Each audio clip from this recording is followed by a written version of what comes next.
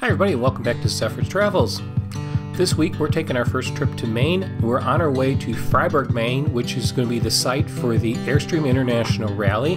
But before we get there, we're going to make a few stops, and our first stop is going to be Vermont. So let's get going.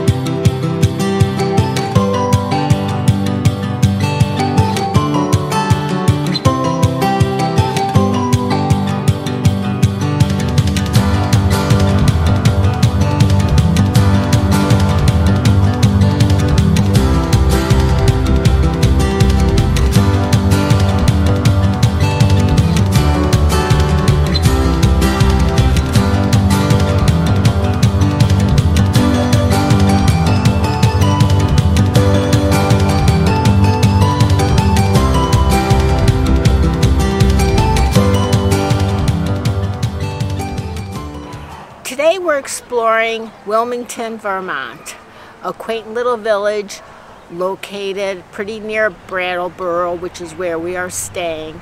So we decided to take a ride over and uh, take a look.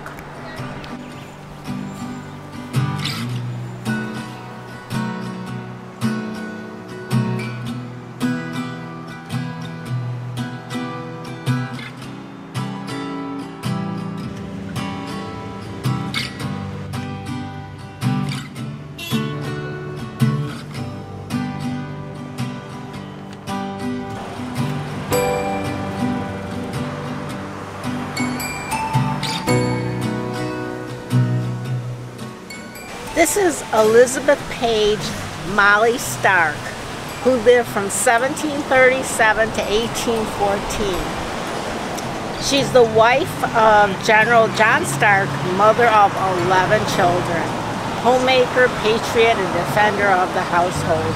As your mother of 11 children, she deserves a statue just for that.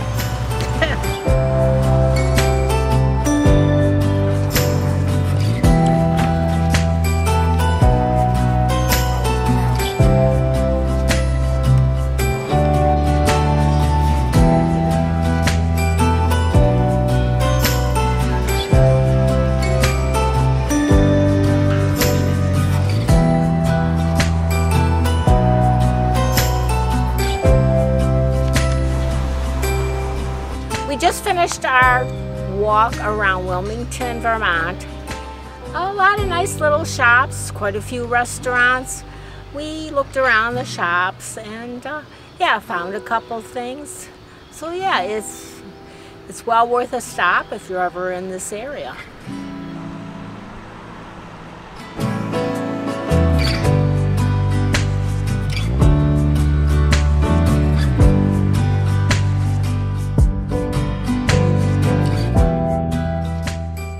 First leg of our trip to the International Rally is complete. We've stayed here for a couple of days at Kampfires in Vermont and had a pretty good time.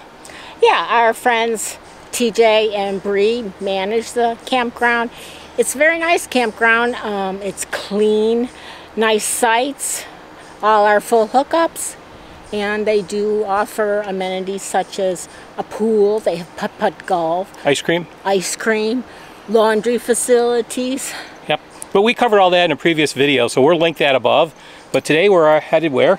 To Freeport to LL Bean in Maine. That's right, we found a campground up there we're going to spend a few days at, and we're heading there next, so come along.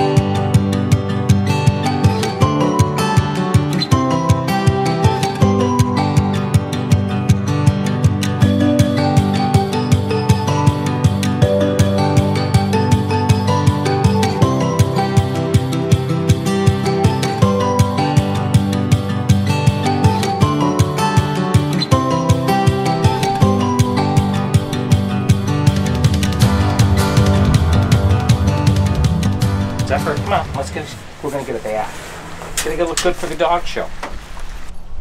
You're gonna take home a prize. Best looking dog. Yeah. Best looking dog in Fryeburg. There's Yeah. something to achieve. Come on, over this way. I know, this is not gonna be fun, is it?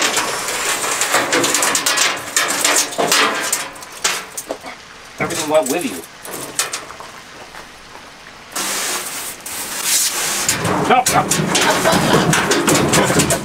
Oh. she tried to escape. This is not. This is why we're not doing Monty, I think. Yeah. Come on. Come on, Zeph. It's okay. Mm, I know you don't like baths. No, we're not jumping out either. Stay. You stay.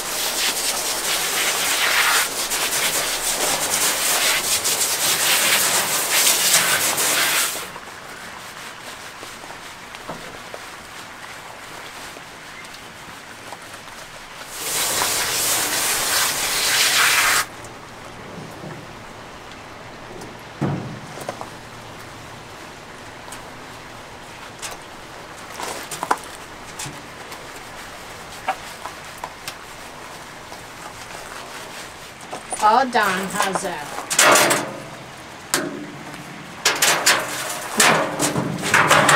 Oop, Oh, we're out. a little, a little slippery, huh? Just did my hair and I can't do a thing with it. We are finishing up our second leg of our trip to the International Rally and we stopped here in Freeport, Maine at Cedar Haven Campground. And what did you think of this campground? It's very nice. It's probably one of the best campgrounds we've ever stayed at. I, th- I think we were lucky in that we had one of the best campsites in the campground, which really helped make our experience so much, much better. Right. If you ever have a chance to come here, you want to try and get Site 55. It's both shady and sunny. It's good size. It's on a corner pull through, Right. and it's you know very private. I mean you you got some trees all around you, as you can see behind us, um, so you get a fair amount of privacy on this campsite, even though it's a pull through. Right. And yeah, it's a good size. The sites are very nice. Uh, there's a lot of things here, especially if you have children for them. There's a small pond, and they do have small kayaks, and uh, you can go swimming in it. Everything is at your own risk.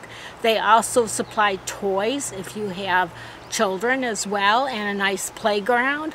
Yeah, like the the sand um, box has uh, dump trucks and, and shovels and such for the kids to play with. They have a play area over by the maintenance building that has bicycles and tricycles and, and that type of things and balls and you know all, all kinds of stuff. Right. They also have a camp store and they do offer some food. I saw yesterday they had pizza and they do have ice cream. And uh, what else? I, th- I hadn't seen much more than ice cream and such. Uh, you can rent bikes. They Yeah. do have firewood that you can buy. Yep. and they seem to be very accommodating. Uh, Right. The, the owners of the campground are fairly religious. This they are, according to the sign, uh, Seventh Day Adventist. Adventists. Um, but uh, so they on Saturday the campground part or campground, the campground office is closed, and if you come in on a Saturday, they will have your site posted with your information that you need. And I guess you just come in on Sunday and, and finish off the reservation Right. if needed. It does look like they're expanding. We did see some construction work. That each site has a picnic table and a fire pit. They do have swings and other type of things throughout the park. And so it's very accommodating. Yeah, if you are coming here, I would recommend that you try to pick your site. You know, sites 50 and above seem to be a little bit larger. These other sites um, from 0 to 50 seem to be a little bit closer together. Now, if you're coming with somebody else, that might be a great site that you want to get closer to other people. Right. Um, if you're just using it for an overnight or a place to get into uh, Freeport, then you know, it probably doesn't matter as much. But we really enjoyed having our site. The one that we had, it was a little bit larger and nicer. Right. It's a quiet campground and it's not on a not a main road. Yep. So but, but we're only two miles from Freeport, Right, right. So if you're visiting Freeport, it is a great location. Which we did um, the other day, and we'll show you a little video of that.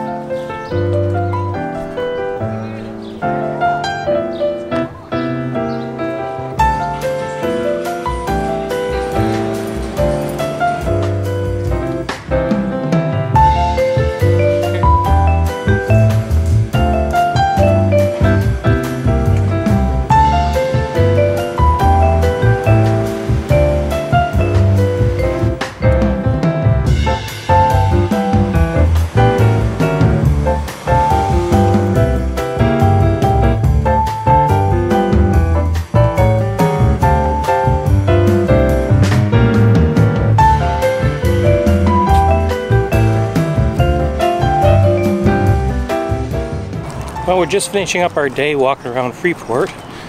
And what'd you think of uh, Freeport, Maine? Um, I thought it was nice.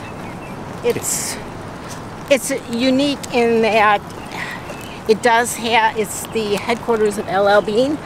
They do have both a retail store and an outlet store. And the outlet store, really, you get great bargains there. So we bought a couple things there, and we walked around. They do have a, neat, a unique looking McDonald's as well.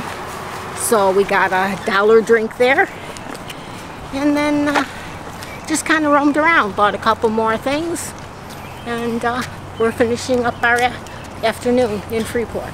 Yeah, Freeport is, you know, is really uh, pretty much a shopping type destination.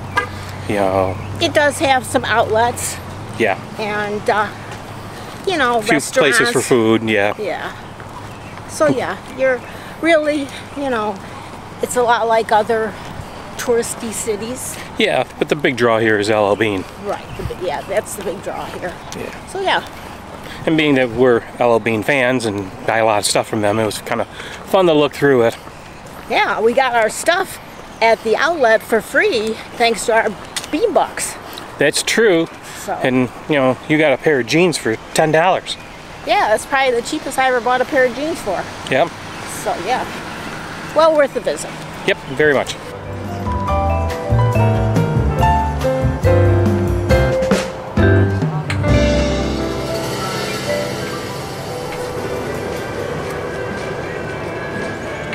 Freeport is well worth the stop. It is the headquarters of LL Bean, so that is there amongst other things that you can shop, eat, um, you know, check around. Yeah, yeah, we really enjoyed our stay here. I, you know, you have to tell us in the comments if if we miss things. Um, we basically saw this as kind of a shopping destination for for Freeport and LL Bean and the other stores that are here. But let us know in the comments what we missed because we'd love to come back to this area sometime and, and check that out too. Right. Well, we got to get going. We are not going far today. We're just heading down the road to Kennebunkport. And we've got a campsite down there for a couple nights. And it's our last stop before the rally. Right. So let's get going. Okay. Be sure to join us in our next video as we continue our adventures in Maine. Until then, thanks for watching, and we will see you down the road. Today we're exploring Wilmington, Vermont. This is the downtown area, or the only area. you could cut that out. Today we're exploring downtown uh,